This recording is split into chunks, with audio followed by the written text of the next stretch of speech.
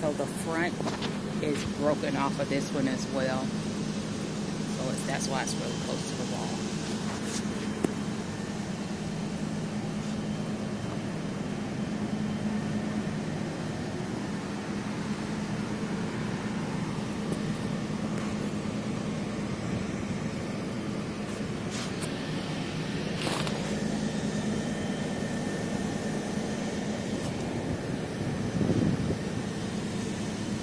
with much rust on it.